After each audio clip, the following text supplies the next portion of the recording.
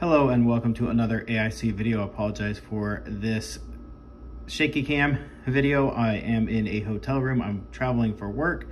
Um, I picked this up specifically for this trip. This is a Retroid Pocket 3 Plus uh, because I needed yet one more device to be able to play Super Mario RPG Legend of the Seven Stars. Um, I have all the copies that you can have of this game.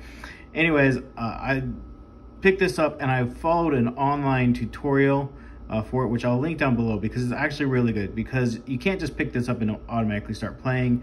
Uh, there's quite a bit of setup that you need to do to get it functioning correctly, but I did come, I did run into a problem that I didn't find a solution for online, so I thought I'd mention it. If you go here, click edit, I'll, I'll create the problem, show you what it is. Uh, save. Okay.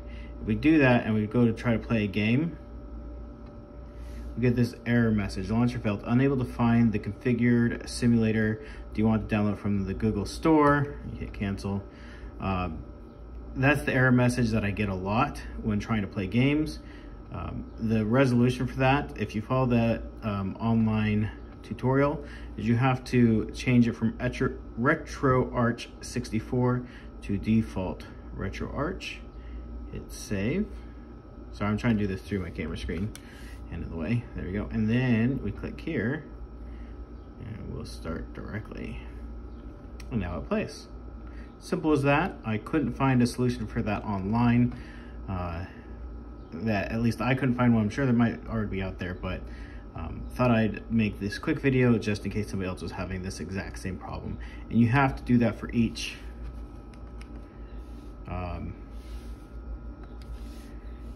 each uh, um, emulator that you do. So you go to edit, come on, scroll to the bottom, default RetroArch. Anyways, uh, if you have any thoughts, comments, or questions, leave that down below.